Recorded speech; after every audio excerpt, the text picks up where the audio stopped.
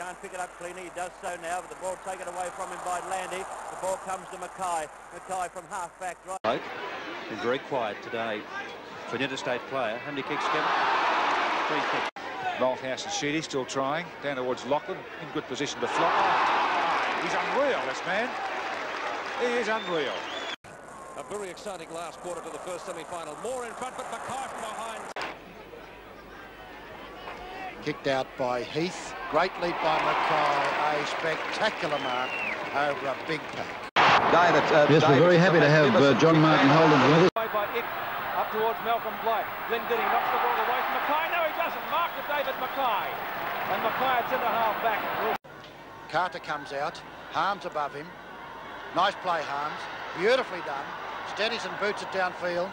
David McKay running with the flight of it. Barry Breen is there. McKay clever. Beautifully done out to Sheldon. Sheldon for goal and puts it through.